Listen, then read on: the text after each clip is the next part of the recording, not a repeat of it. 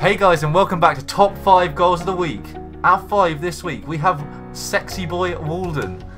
He drives to the boost, slurps the batty, turns around, up on the wall, pinches it, and it's all the way into the net. No chance for Raz. He's slow as. And number 4 we have Jack R. Here he comes, he plays the ball up off the wall. He's up, he's spinning, he doesn't need to be. Oh, it's a lovely double touch.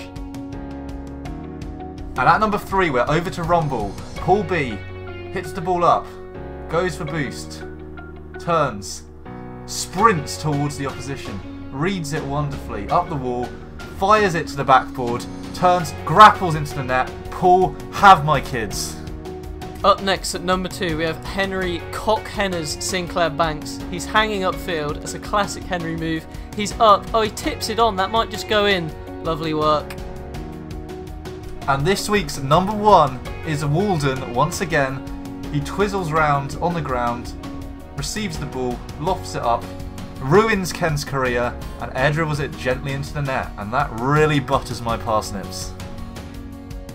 This week we have an honourable mention in the form of Cock Henners. Here he is on his own backboard.